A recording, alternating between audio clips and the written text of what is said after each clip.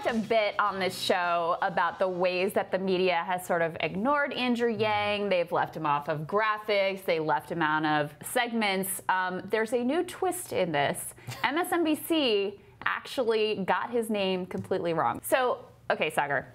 Andrew Yang is polling above Yeah. Cory Booker. Yes. Above Beto O'Rourke. Yes. Two, two, two United States senators, three United States congressmen, um, And they call governors, him the John mayor of New York Yang. City.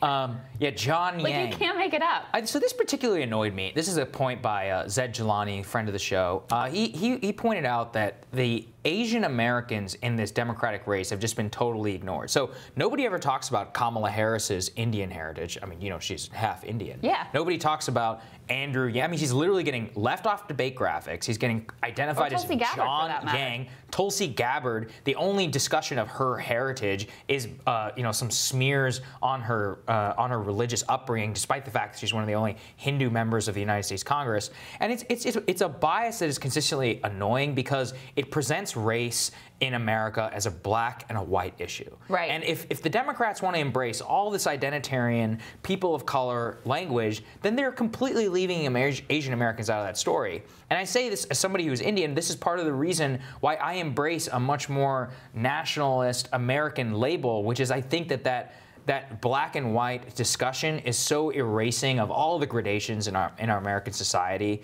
that it's really it's just troubling for the way that we talk about Yeah, and look, I mean, Yeah. to be fair, like it's hard to tease out what's just like an accident. You know, some producer It keeps screwed happening. up. It's It, over it and keeps over and happening over over and over again. again, and it does play into Yeah. this sort of stereotype of Asians who are behind the scenes, right? They're not supposed to be in leadership. They're supposed to be the ones like developing the new technology, Mm-hmm. writing the code, etc. Behind the scenes. And so when you have this individual, Andrew Yang, who you know has really different vision for America, really bold ideas, things that should be front and center in any national debate. And they just don't even know. just don't care. One of our major national networks doesn't even Yeah. get his name right. John it's Yang. insane. John Yang. John I- Yang, yeah, so John is polling a lot higher than a lot of other people that that show might know. So By the way, on Twitter, they say John Yeah. Yang is going to give you $1,001 a month. So Even more maybe you should support that guy. all right, we'll see you guys later.